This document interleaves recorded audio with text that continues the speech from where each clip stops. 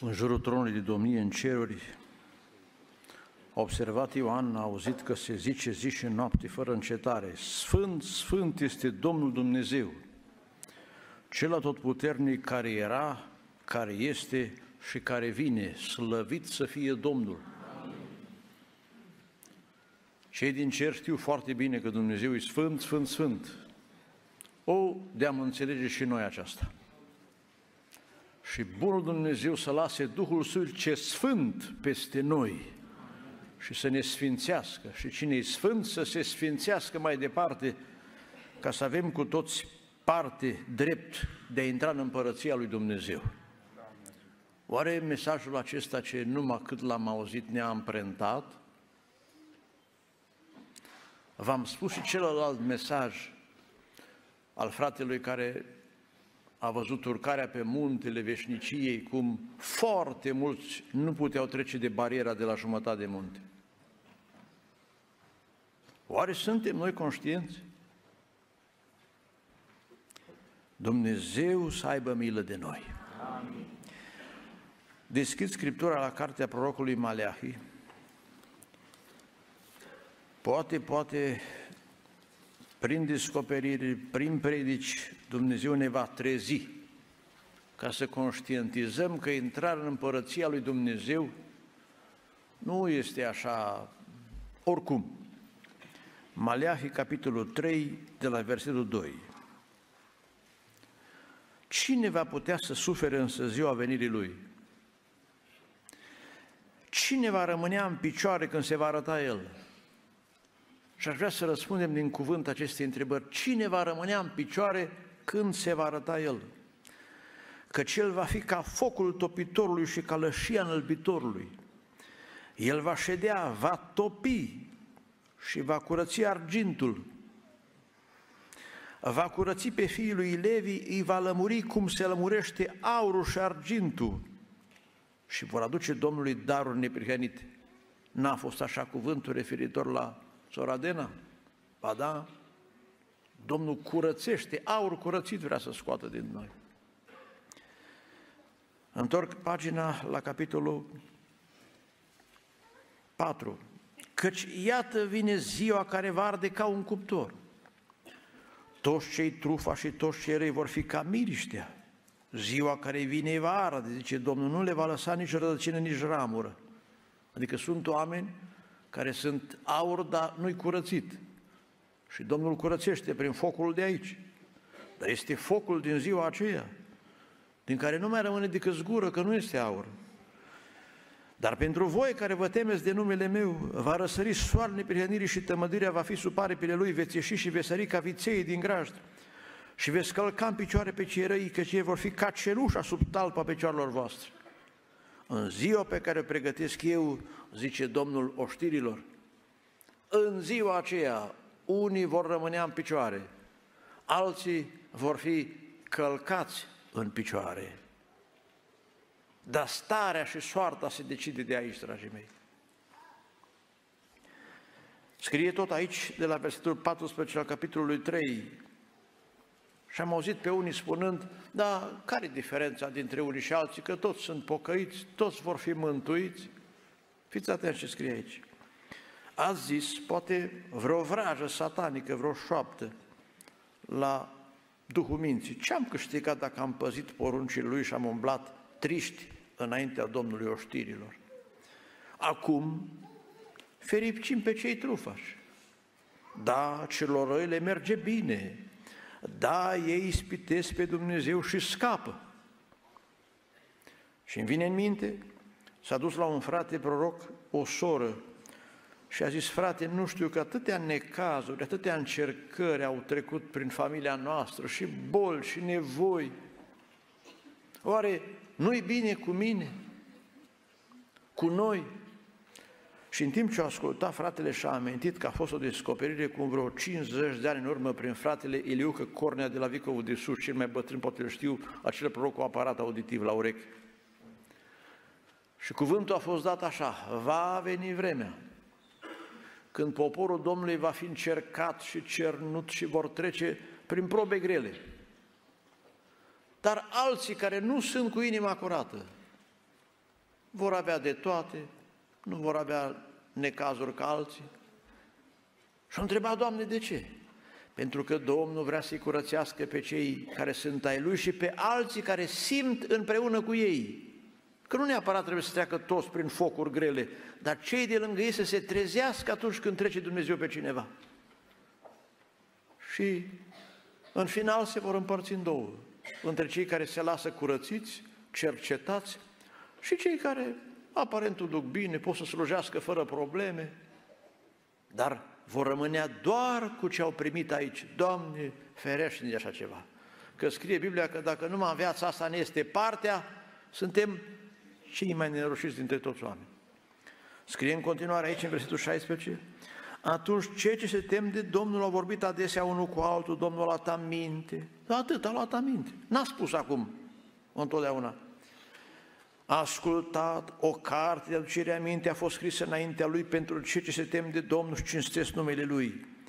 Ei vor fi ai mei, zice Domnul, îmi vor fi o comoară deosebită în ziua pe care o pregătesc eu, voi avea milă de ei cum are milă un om de fiul său care slujește. Și veți vedea din nou atunci deosebirea între cel neprihenit și cel rău, dintre cel ce slujește lui Dumnezeu și cel ce nu slujește. Deci din versetele astea aș putea să vă mai pun o întrebare. Cum sunteți acum, triști sau trufași? Că e ușor de ținut minte, ambele cu litera T.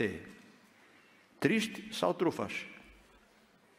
Cei care se tem de Domnul se smeresc, caută fața Lui, plâng, se pocăiesc și Dumnezeu notează, dar în ziua aceea, când lucrurile se vor da pe față, cei triști, în locul ocării, în locul lacrimi, în locul plânsului, va fi cununa și bucuria veșnică. Iar cât pentru ceilalți, zice în profetul Mica, ce așteptați voi de la ziua Domnului? Atunci, zice, va fi uluiala lor. Doamne, îndură-te de noi. Așadar, să răspundem întrebării, cine va putea sta în picioare? Sau cine va cădea? Căderile sunt de două feluri. Zice prorocul Ieremia în capitolul 8 al cărții sale, citesc versetul 4, cine cade și nu se mai scoală? Sau cine se abate fără să se întoarcă? Se întâmplă să alunece cineva, fizic vorbind, cade, se scoală. Și că cineva lângă el îl ajută. Dar se poate întâmpla, de exemplu, cineva a făcut un infart, cade sau cumva a dat cu capul, nu se mai scoală.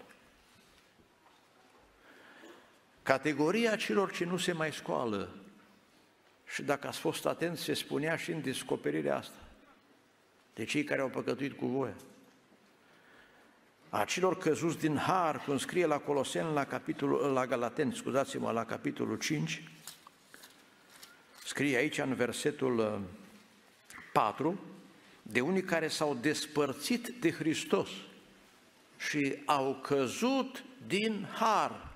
Pot să cadă și prin învățături străine și pot să cadă prin uh, păcat, făcând zadarnic harul lui Dumnezeu.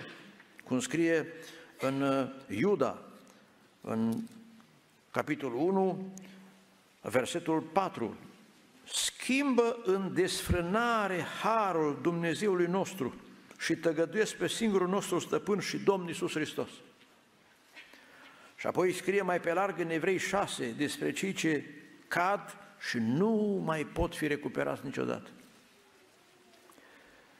Evrei 6 de la versetul 4. Cei ce au fost luminați odată, au gustat darul ceresc, s-au făcut părtași Duhului Sfânt și au gustat cuvântul cel bun al Dumnezeu și puterile viacului viitor și care totuși au căzut. Este cu neputință să fie înnoiți iarăși și aduși la pocăință, fiindcă ei răstignesc din nou pentru ei pe Fiul lui Dumnezeu și îl dau să fie batjocorit. Evrei 10, întoarceți pagina, versetul 26. Căci dacă păcătuim cu voia, după ce am primit cunoștința adevărului, nu mai rămâne nicio jertfă pentru păcate, că una a fost și aceea nu se dă a doua oară, ci doar o așteptare înfricoșată a judecății și văpaia unui foc, cum am citit din Maleahi, focul din ziua aceea care va mistui pe cei răzvrătiți. Să ne păzească Dumnezeu de așa ceva. Dar se poate cădea, cum scrie la Cartea Proverbe, la capitolul 24, citesc versetul 16, că cel neprihănit de șapte ori cade. Asta nu înseamnă că trebuie să cadă cel neprihănit de șapte ori. Numărul șapte este un număr simbolic, vrea să spună că se poate cădea de mai multe ori, dar cum? Nu oricum. Scrie la Galaten, la capitolul 6, de aia țin să vă citesc ca să fiți întemeiați pe ceea ce vă spun, 6 cu 1. Fraților, dacă un om ar cădea deodată în vreo greșeală, te-ai scăpat și ai spus o vorbă, o glumă, o, o strigare, este o greșeală. Ai scăzut, ai căzut, este o școpătare. Și să nu privim cu ușurătate astea, că așa se ajunge apoi la căderile din care nu ne mai revenim. Astea le socotim așa floare la ureche, cum spune vorba în popor. Nu, nu, nu. Scriptura spune, întorc două pagini, în Efeseni, capitolul 4, vers 30, să nu întristați pe Duhul Sfânt al Dumnezeu prin care ați fost luiți pentru ziua răscumpărării, orice amărăciune, orice iuțime, este o cădere într-o greșeală. Orice strigare, orice clevetire, orice fel de răutate să piară din mijlocul vostru. Amin. Să ne păzească Domnul și de asemenea greșeli. Dar dacă se cade în asemenea greșeli, atunci repede la mărturisire, la plâns și la pocăință. Și cum s-a rugat Ezechia, a zis, Domnul care este bun să ierte. Amin. Amin. În ce privește căderile, cauza principală a lor este păcatul. De altfel, asta înseamnă cădere. Vă citesc din cartea prorocului Osea, capitolul 14. Întoarce-te, Israel, la Domnul Dumnezeul tău, căci ai căzut prin nelejuirea ta. Dar așa în vorbirile noastre între credincioși, nu numim toate astea căderi. Și poate chiar cei în cauză socotesc că nu scăzuți. Dar oricine a comis un păcat este căzut. Vă citesc din Apocalipsa 2, sunt cuvintele Domnului către Îngerul Bisericii din uh, Efes. Capitolul 2, scrie de la versetul 2, știu faptele tale, osteneala ta, răbdarea ta, merite, nu? Versetul 3, știu că ai răbdare, că ai suferit pentru numele meu, că n-ai obosit, dar ce am împotriva ta? Ți-ai părăsit dragostea din tâi. Și în mesaj se făcea referire la asta. Adu-ți aminte de unde ai căzut. De ăștia veneau la biserică. Erau activi. Dar erau socotiți înaintea Domnului căzuți. Nu de oboseală neapărat căzuți. Că scrie aici, n-ai obosit. Și Pavel spune în 2 Corinteni 4 cu 1 și 16 că noi nu cădem de oboseală, chiar dacă trupul de afară se trece. Dar se poate cădea de oboseală, scrie în Evrei 12 cu 3, atunci când nu suntem atenți să ne împotrivim față de păcat, cum spune versetul următor 4 din Evrei 12. Voi nu v-ați împotrivit încă până la sânge în lupta împotriva păcatului. Și se cade. De asemenea, se menționa mesaj și eu vin cu Biblia, 1 Timotei, capitolul 6, versetul 7, căci noi n-am adus nimic în lume. Am adus ceva? Încă un plâns în plus, așa Și nu putem să luăm cu noi nimic din ea. Dreptul e asta. Dacă avem dar cu ce să hrănim și cu ce să ne îmbrăcăm, ne va fi de ajuns. Să nu mai tot cumpărăm pe haine și să ne tot frământăm. că-i trudă în plus. Cei ce vor să se îmbogățească. Dacă ar fi să pun întrebarea asta în sală, oare cum ar, s-ar ridica mâna mai cinstit să întreb care sunt cei ce vor să se îmbogățească sau să întreb care sunt cei ce nu vor să se îmbogățească? Nu îmi permit să pun întrebarea asta, că ne încurcăm. Dar așa a zis apostolul, cei ce vor să se îmbogățească din potrivă, cad. Și doar e prins cu munca, nu mai vine peste săptămână la adunare, se gândește la o afacere, uitând ce scrie în Psalmul 127, că prea iubiților săi, Domnule, de pâinea, ca un somn, că Dumnezeu poartă de grijă. Mărit să fie Domnul. Îmi amintesc cu ani în urmă, eram în căutarea unui serviciu, s-a dat concurs la o primărie pentru postul de contabil. Țin minte și acum am fost trei candidați, eu am luat 6,86, ceilalți doi 4,32 și 4,20. M-a depunctat că nu trebuia să fiu eu, că mă coboare sub 7. Ce nu era articolul scris ad eram și oarecum m-am necăjit. Următorul concurs a fost vândut, în fine, și am zis, da, am învățat, eu m-am rugat, am nevoie de serviciu. Asta a fost cam pe luna august. În luna septembrie trece o verișoară soției pe la noi și spune, am terminat facultatea, m-am dus aici la liceu, lucrau părinții acolo cadre didactice, dar nu-i profilul meu, puteam să fiu aici aproape de părinți, dar zice, au un post liber în domeniul economic. Zic, da, da, facultatea mea nu-i gata. Hai să încerc. Mă duc la director, fac o cerere, să uite, zice, îmi place cum ai scris, te angajăm. Și după aia am zis, Doamne, era mai bine a fost acolo, era lângă casă, liceu, puteam merge pe jos. La primăria aceea mult mai mult de bătaie de cap cu oameni și trebuia să fac naveta 16 km. Că Dumnezeu poartă de grijă. Dar uneori ne frământăm și tot ne ajungem departe. Sau adunăm, cum scrie în Hagai, și punem într-o pungă spartă și ce folos? Cei ce vor să se îmbogățească cad în ispită în laț. Auzi? Și când cazi în laț, nu te mai ridici tu când vrei, că ai intrat în afacere și banii băgați. Ești prins. Și cum se observă la cei ce ajung să aibă bani, în multe pofte nesăbuite și vătămătoare, că ce-o mânca până atunci nu o bine, unde a fost până atunci în concediu, nu o bine mașina, nu-i mai bună hainele, nu-s mai bune, dreptui. Astea sunt în jurul nostru, dea Domnul să nu fie la noi. Căci iubirea de bani, și știți ce scrie mai departe, da, așa se cade. Și căderile acestea pot să fie de durată, pot să fie foarte înșelătoare, să fim prinși ca într-o cursă, Dumnezeu să aibă milă. Altă formă pe care duce la cădere, 1 Timotei 1 cu 19. Să păstrezi credința și un cuget curat pe care unii l-au pierdut și au căzut din credință.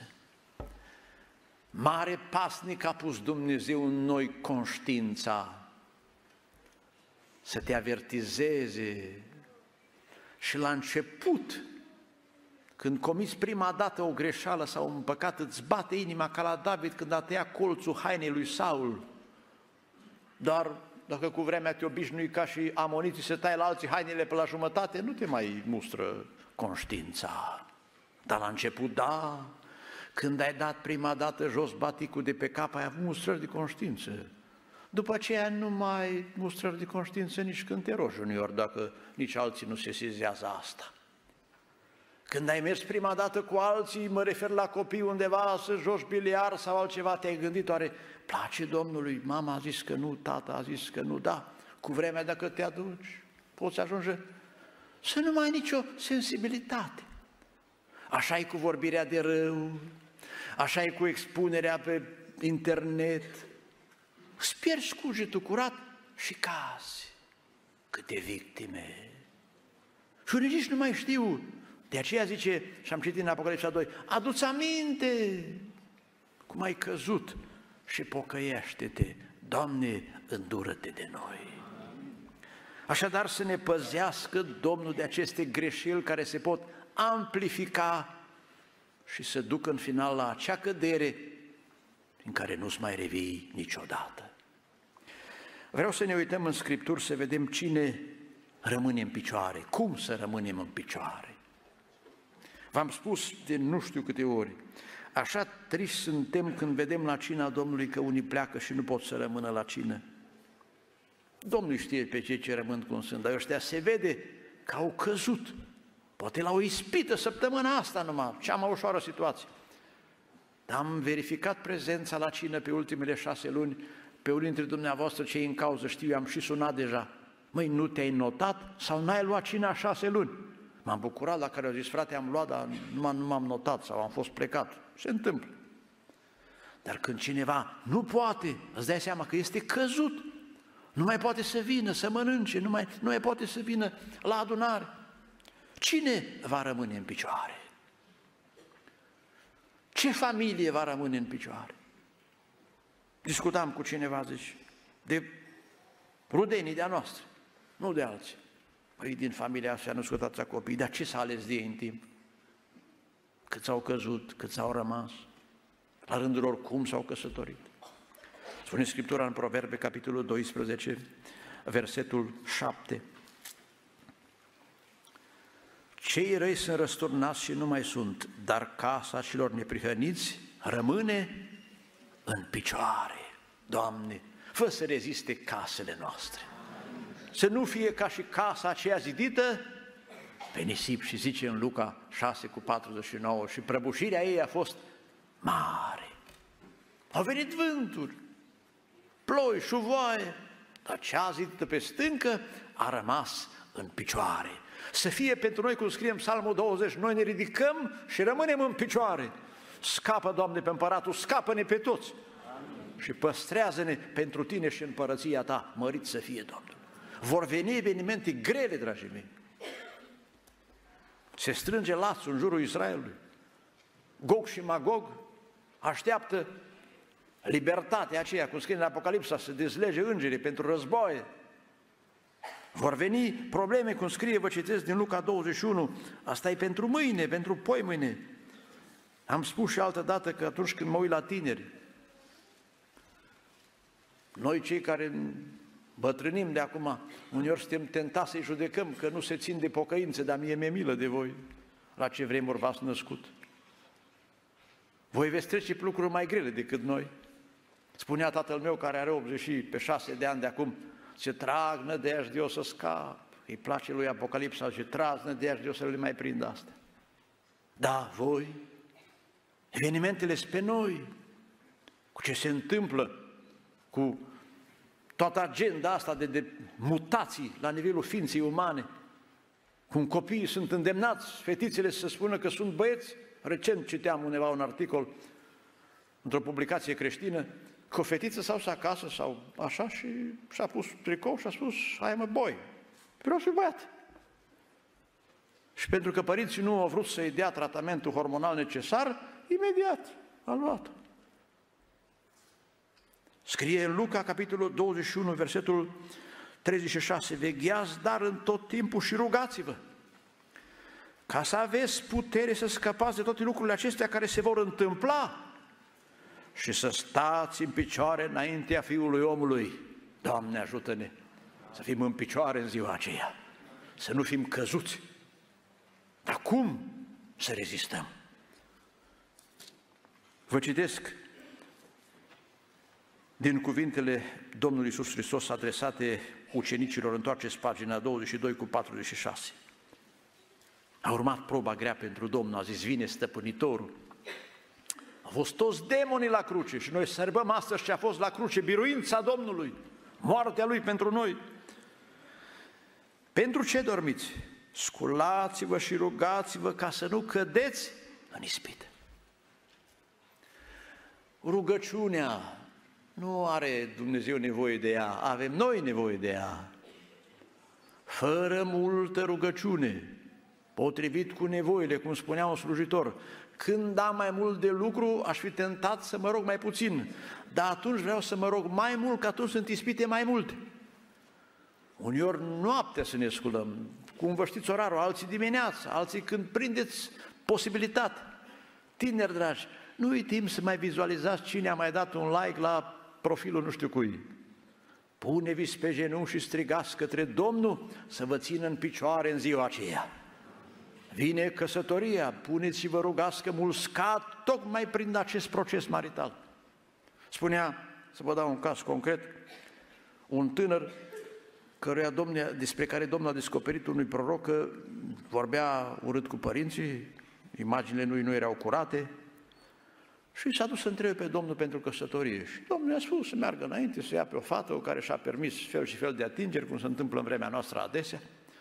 Și merge la fratele ăsta, proroc, și îi spune, aș mai vrea să mai pun o dată înaintea Domnului. Dar nu ți-a vorbit Domnul până acum? Ba da, da, nu sunt lucrurile chiar clare. Cum nu sunt clare cu atâtea mesaje?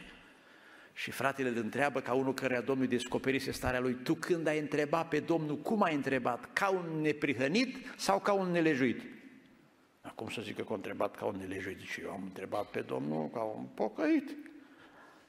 Și să știi că Domnul ți-a răspuns după starea ta, cum scrie în Isaia, mă întreabă ca un popor care ar vrut să ar fi înfăptuit neprihănirea. Și s-a căsătorit și după trei luni vine și zice, nu mai credeți într-un proroc, e o lepră de femeie. Dar ce ai fi vrut, mă, după ce ai murdărit-o să o dea Dumnezeu la altul? Dumnezeu te-a obligat prin felul ăsta de a fi ca să o iei tu. Și acum vă pocăiți amândoi. Dacă vezi rai, dacă nu vă chinuiți aici, vă chinuiți și dincolo. Ce trist! Da? Să ne ajute Domnul să petrecem timp în rugăciune și în pocăință. Și pentru ce nu se roagă ei, să ne rugăm noi ca părinți, ca să le vină Dumnezeu în ajutor, să se îndure de ei că e bun, da, e și drept și sfânt numele Lui să fie binecuvântat. Cine rămâne în picioare, cine biruie ispita. E o trântă pe viață și pe moarte, e luptă corp la corp uneori, simțim oboseală uneori, ispitiri. Și spune cineva, n-am mai putut, n-am mai rezistat. Ba da, puteai să reziști, dar trebuie să te lupți până la sânge. Dumnezeu să ne vină în ajutor. Mai pun o întrebare, dar dintre cei căzuți, cine se ridică? Și apoi sperăm să rămână în picioare. Am citit din Osea 14 cu 1, ai căzut prin nelegirea ta și scrie acolo în versetul 2, aduceți cu voi cuvinte de căință și întoarceți-vă la Domnul, spuneți iartă toate nelegirile noastre, primește-ne cu bunăvoință și îți vom aduce în loc de taur lauda buzelor noastre. Și am citit din Apocalipsa 2, nu mai revin, ridicarea este prin pocăință. Acum suntem așa, cu vecinii ăștia binevoitori ce ne-au primit, ne mai adunam pe săptămână cum putem și cât putem, dar va fi apoi iar vremea stăruinței, dacă Domnul ne ajută, va fi evangelizare. Cu asta nu am în pe mâine pocăința nimănui, că poate cineva n-ajunge până la primăvară. Dar să folosim toate aceste împrejurări ca să ne întoarcem la Domnul cu toată inima și bunul Dumnezeu să ne vină în ajutor. Și un ultim aspect. Ce mai putem face pentru cei ce cad? Noi cu ce putem să-i ajutăm? Că nu-i nicio plăcere să fac eu o declarație de la Anvon și statistici sau cineva să spună au căzut și cu tare, au căzut și cu tare și Asta e motiv de, de durere. Zice în 1, în 2 Corinteni, capitolul 11, versetul 28 și 29, pe lângă lucrurile de afară, în fiecare zi mă apasă grija pentru toate bisericile. Cine este slab și să nu fiu și eu slab? Cine cade în păcat și eu să nu ard? Doamne, ca să nu ardă ei, fă să ardă noi durerea pentru cei ce au căzut. Să nu avem liniște, să mijlocim. Atunci nu o să povestești cu ușurință de cineva că o căzut. O să te doară sufletul. Și dacă o să spui, o să spui așa cu, cu durere și cu dorința ca Dumnezeu să se îndure și să-i scape, să-i ridici. Hai să mijlocim pentru cei în cauză și bunul Dumnezeu să le întindă o mână salvatoare, să-i ridice în bunăvoința sa. Mi-amintesc că povestea fratele Todorașu un caz că unul a căzut, nu mai știu cât și cum, dar a fost arătat în vedenie că era într-o groapă și Domnul de acolo a vrut să-l ridice cu o scară, dar uneori e așa numai câte, câte o etapă. Îmi amintesc, la noi în comună s-au pocăit doi oameni, erau pe mai departe ceva rudenii de-a noastră. Și s-au supărat și nu au mai venit la adunare. Și vine o soră la tata care era diacon acolo și îi spune, frate, pe Gheorghe l-am văzut mort într-un sicriu și pe Ionică trântind lângă o scară. Și a zis tata, băi, Gheorghe nu se mai scoală și nu s-a mai întors niciodată. O și murit pe la vreo 40 de ani. Ionică s-a sculat, dar o mai căzut de vreo două ori după aceea. Și mi-amintesc că tot mergea tata la el și tot îl ajuta și mi-amintesc bine că o mama odată, dar dă-i pacea, că vrea să se ne pocăințe, vrea dacă nu vrea. Taci că e un suflet, să-l ajutăm. Și l-a ajutat Dumnezeu pe fratele Ionică. A fost așa o fire mai... Era cel mai puternic om din comună. Să nu fi stat pe lângă el când se supăra. Avea o forță extraordinară și o mânie în el explozibilă era. Dar Dumnezeu cu vremea l-a îmblânzit și a primit Duhul Sfânt numai pe la vreo 70 de ani. Așa l-a înmuiat Dumnezeu. Dar altfel era cu inimă bună. Dar au trebuit ajutat.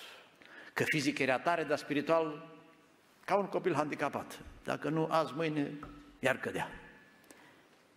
În supărările lui. Dar Domnul a fost bun și s-a îndurat de el. Și încă ceva legat de alții. Zice în Roman, capitolul 14, și asta iară mi este o, o, o teamă și o grijă, versetul 21, să te ferești de orice lucru care poate fi pentru fratele tău un prilej de cădere, de păcătuire sau de slăbire. Că poate din cauza mea cineva să cadă. Soților, atenție care aveți sos mai firești și invers. Atenție la copii, să nu întărâtăm la mânie. Atenție la ceilalți care ne văd. Eu am rămas surprins de-a lungul anilor când oamenii cu vremea se destăneau și spuneau te-am urmărit, oamenii urmărești cum conducem mașina, cum vorbim, sunt cu ochii pe noi. Fetelor, atenție, cum vă îmbrăcați, cum vorbiți. Trebuie să fim foarte atenți la cei din jur, să nu ne constituim în prilej de cădere, nu cumva din pricina mea cineva să sufere.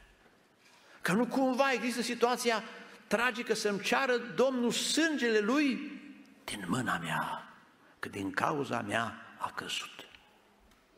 Da, spune Pavel la 2 Corinteni, la capitolul 13, versetul 7, atenție. Totuși ne rugăm lui Dumnezeu să nu faceți nimic rău. Auzi? Cum s-a rugat Domnul pentru Petru preventiv, avea să cadă, dar nu de tot. Zice, m-am rugat pentru tine să nu se piardă credința ta. Recapitulăm și ne oprim aici. Mai sunt și altele de spus, dar ideea cred că a sprins-o. Cine va putea să rămâne în picioare în ziua aceea? Cel neprihănit scapă cu greu. Ce se va face cel rău și păcătos? Va fi vai și amar de el. Cine va putea să rămână în picioare? Cine se selește să slujească Domnului cu un cuget plăcut, care nu se încurcă cu problemele vieții, care este atent în toate, care se roagă mult? Cine a căzut? Și n-a respectat toate acestea. Dacă a căzut, să se pocăiască și Domnul care este bun să se îndure.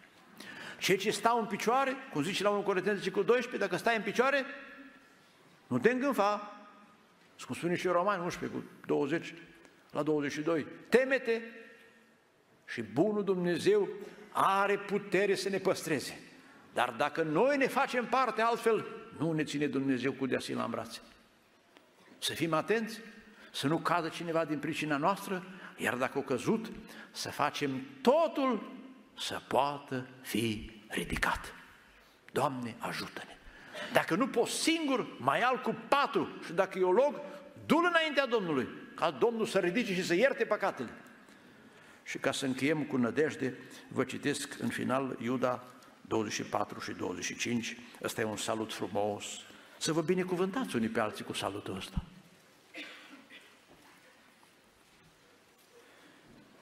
Iar aceluia ce poate să vă păzească de orice cădere. Și să vă facă să vă înfățișați fără prihană, ce frumusețe, și plin de bucurie, ce har, înaintea slavei sale, singurului Dumnezeu Mântuitorul nostru, prin Iisus Hristos Domnul nostru, a Lui să fie slavă, măreție, putere și stăpânire, mai înainte de toți vecii, și acum și în veci. Amin.